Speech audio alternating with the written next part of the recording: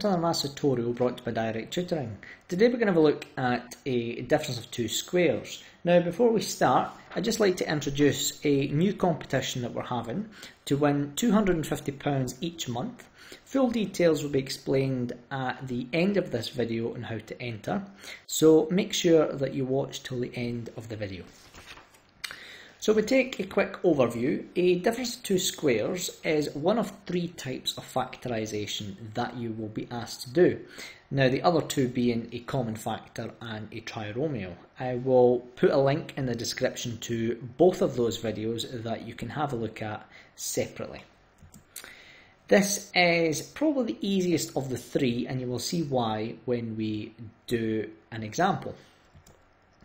And the key characteristic of a difference of two squares is that when the brackets are multiplied out, the middle terms will cancel each other out, and instead of being left with three terms, you'll be left with two. So this is what distinguishes a difference of two squares between a trinomial.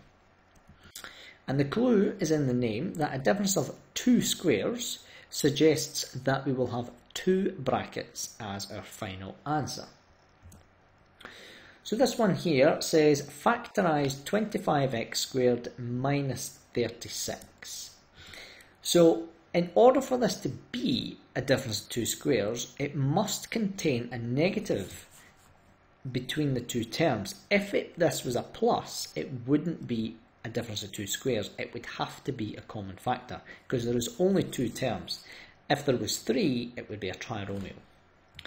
So we can assume in a difference of two squares that one bracket is positive and the other bracket is negative. You can't do that with a trinomial, but for a difference of two squares, you can assume that one is positive and one is negative.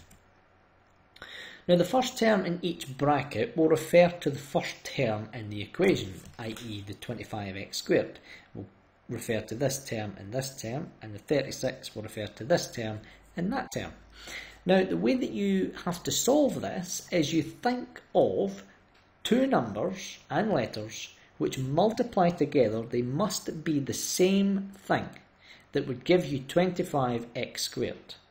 So this one would be 5x times 5x because 5 times 5 is 25 and x times x is x squared.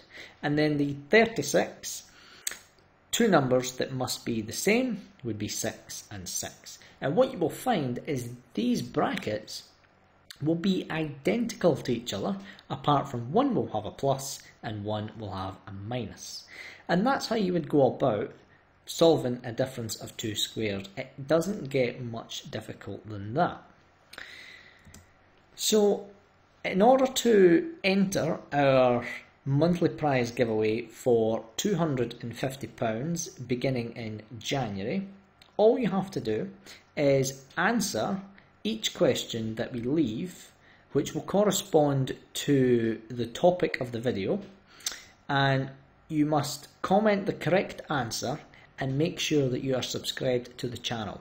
Only valid subscribers with the correct answer will qualify for the £250 draw. Now, we will be publishing multiple videos within the month so the more videos that you comment with the correct answer, the more entries you will have. So this question here, to give you a hint, is you would have to create the equation for the area first using the difference of two squares method and then substitution of the capital R and the small r. So what you are essentially finding is the area of the shaded region which is in yellow. Thanks for watching. Please don't forget to like and subscribe to our channel. Leave any comments in the comments section along with your answer to the question. And we'll see you in the next video.